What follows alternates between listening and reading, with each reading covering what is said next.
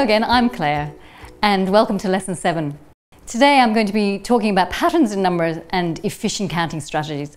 You'll need a pen and some paper. You might be using post-it notes or a scrapbook like I have been doing. Um, and if you have collections to count or if you have dice, they'll be useful as well. Um, our learning intention today is recognizing and representing numbers to 10 by subitizing and uh, partitioning one digit numbers. If you haven't seen our previous lessons, we have been learning lots about counting and numbers. We have been learning about the counting principles. Uh, we have counted lots of collections. We've counted in twos and we've counted in tens. We've counted forwards and backwards from random numbers on the hundred chart. Some of us made hundred charts. You have made, might have made a hundred chart like I did in my book. So what have you been doing since I last saw you? Have you been counting collections around the house? Have you been counting how many um, pieces of toast you eat? Maybe you've been counting how many times your dog wags his tail. My dog is very interesting. I have a very big dog and every time I come into the house he wags his tail. And I counted how many times he wagged his tail while I was coming in the door the other day. And do you know, he counted he wagged his tail 17 times. And he does it so fast, I had to count really fast. 1, 2, 3, 4, 5, 6, 7, 8, 9, 10, 11, 12, 13, 14, 15, 16, 17. Can you count that fast? It's hard to count that fast, isn't it? All right, did you practice counting like that? And did you record the total? Did you record the total? Remember, we've been learning that word, total. Total is the mathematician's word that tells you how many. And you may even have found the total on your numbers chart. All right, let's see how much you practiced before. Did you practice with your numbers chart? Did you find numbers beyond 100? Perhaps you counted to 120. That's really good, isn't it?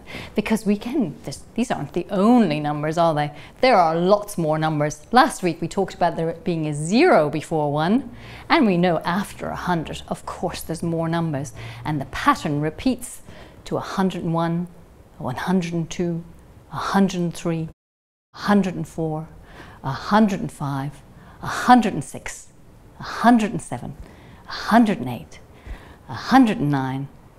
Oh, what happens next? 110. That's the tricky one, isn't it? 110. And we'll talk more about that in the next few weeks. Okay, last week, I've been holding these cards in my hand because I want to see, did you practice what we were doing last week? We talked about that mathematician's word, subitizing. Can you remember what subitizing means? Subitizing is that way that you know how many there are without counting. When you subitize, you just know it. Let's see if we remember how to subitize. So I'm going to show you some. It's a funny word, isn't it, subitize? But it's very useful when you're doing mathematics. So, with your subitizing skills, can you tell me how many? Beautiful. I heard you say four.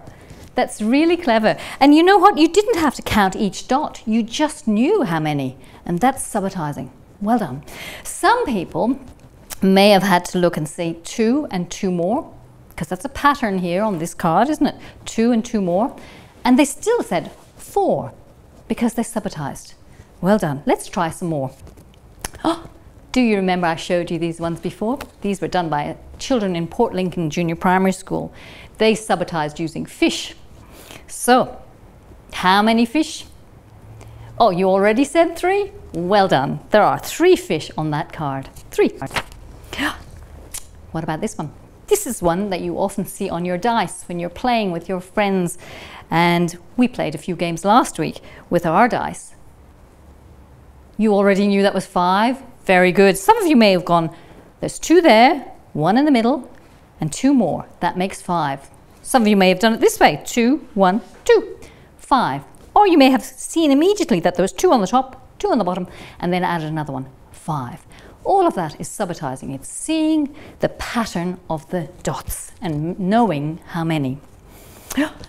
I put this card in to see do you remember some of the other work we did. Remember, we looked at some numbers and some number names. Do you know this number? 11. Excellent. And that's how you write it 11. I know some of you have been doing lots of phonics and you will be able to tell me how many syllables are in 11. 11. Very good. Three syllables in 11.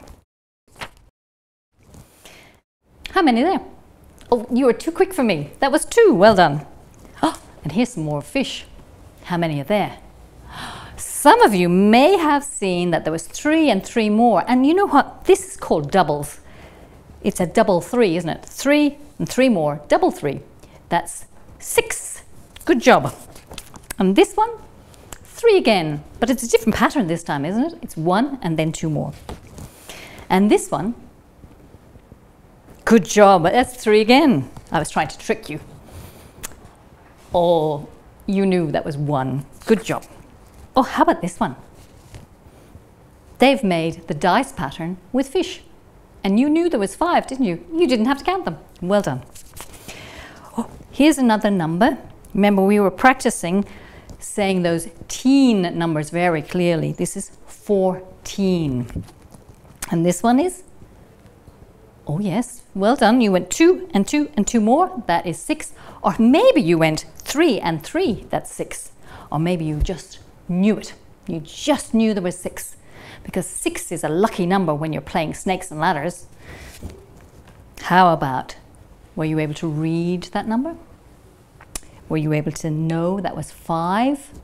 Good job. Some more fish. You said three? Good job. Did you have to count each one?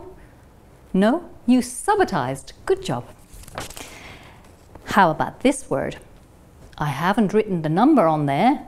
I have actually done the word. And remember, this is a T word. We know that's one of the ones ending in zero. And it's this one, 70. Were you able to read that? That was very tricky. That was a tricky one. All right. Now, I have a subitizing card over here, and I've kept it over here because it's a little bit different. And can you see that this one seven. Did you say that before me? Well done, seven. So in this one, you can see that there's a, an arrangement of dots here, four, and then some over there, and you can see that's three. So four and three makes seven.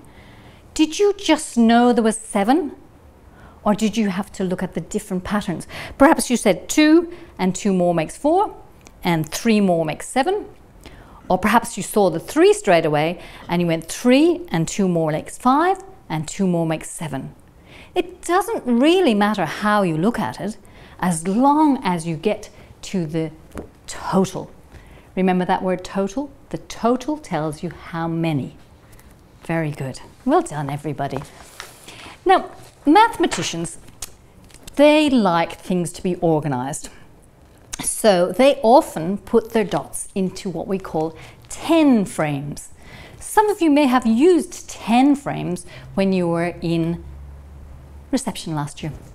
And for some of you, this might be new. So I'm going to show you how to make a 10 frame. Take a blank piece of paper and draw a line down the middle. And now we're going to draw some lines across.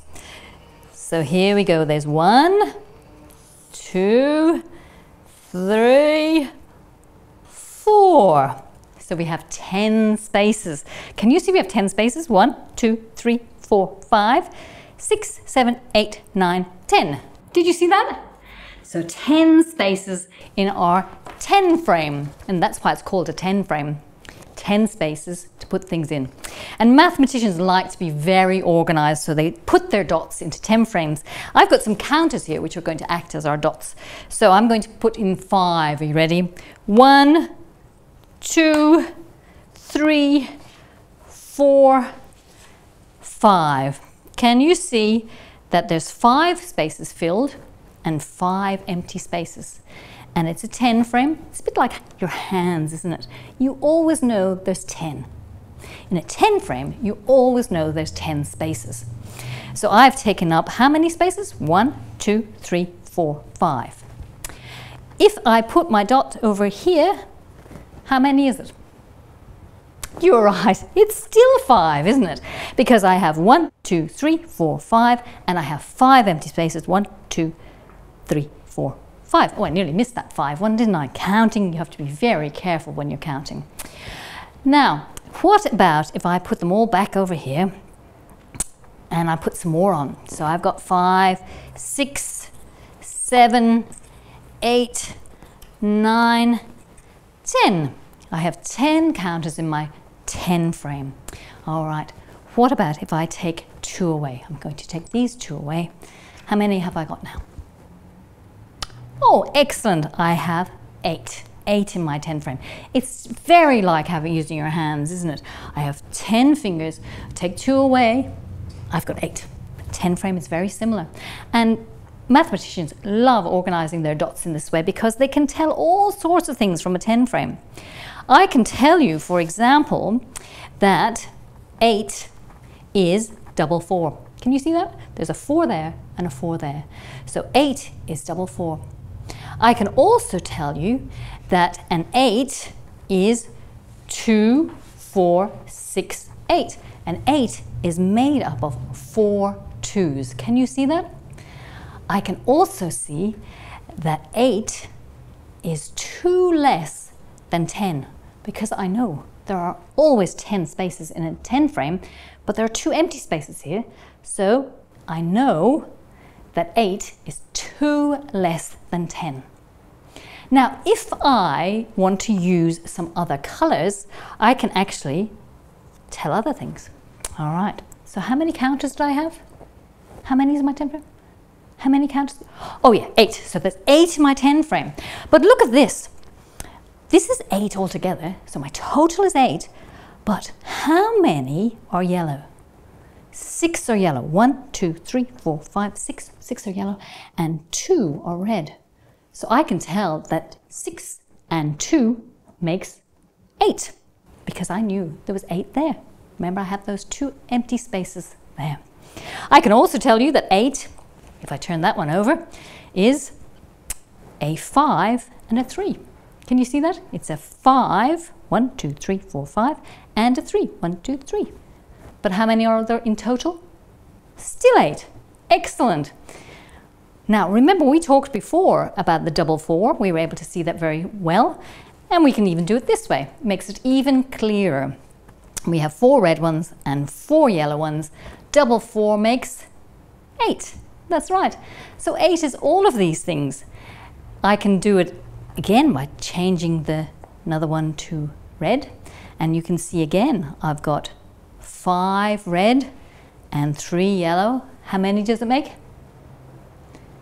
eight still eight isn't that amazing we know this because the 10 frame holds the counters to tell us the total it tells us the total but the total can be made up of smaller numbers in in underneath.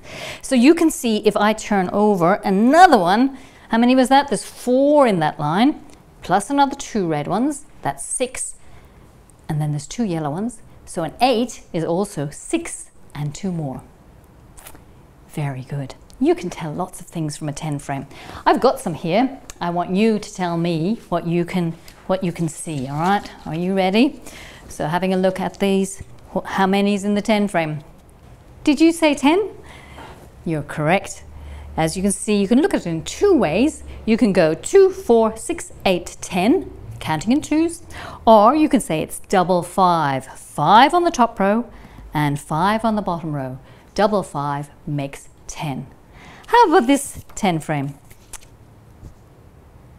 1. Beautiful. You could subitize that very easily, couldn't you? 1. How about we try another one? Let's try this one here. There's a tricky one. What do you see? Do you see two, four, and then three making seven? Or maybe you see five on the bottom and two more makes seven. A tens frame can be used in any direction. You can use it this way or this way. So you may have seen two and another two making four and then three more making seven. Or you may have looked at it five on the bottom row, and two more makes seven. Sometimes we use more than one 10 frame. And when we're doing our bigger numbers, it's useful to have more than one 10 frame. So let's have a look at a couple of 10 frames together. Now, I've got a 10 frame here and it's got, how many counters in there? Let's see. It's got eight counters in it. Can you see that? Do you want to count them with me? Did you go two, four, six, eight? Or perhaps you went four and four more makes eight. Now on this other one, I'm going to put this many counters. See if you can figure out how many I've put in. Let's see. Oops. How many counters have I got in the other one? You're right, there are six. Did you go two, four, six? Or perhaps you went double three. There's a three there and a three there. Did you do that? Or did you just subitize? Did you just know that there were six? This is a really handy way to add numbers together. So let's think about if I wanted to think about eight and six more, I could move two of my counters over there. How many are here now? Oh, you're right, it's a 10 frame, so of course there are 10. 10, and how many have I got left over here? Did you say double two? Well done, I have double two, which is four. 10 and four is 14. That's a good job. Two 10 frames are very handy for counting in this way. After this lesson, you might like to practice your subitizing using dice or dominoes you may use your dice and play snakes and ladders. Or you might make a 10 frame like mine and practice putting the counters into the 10 frame. See you next time.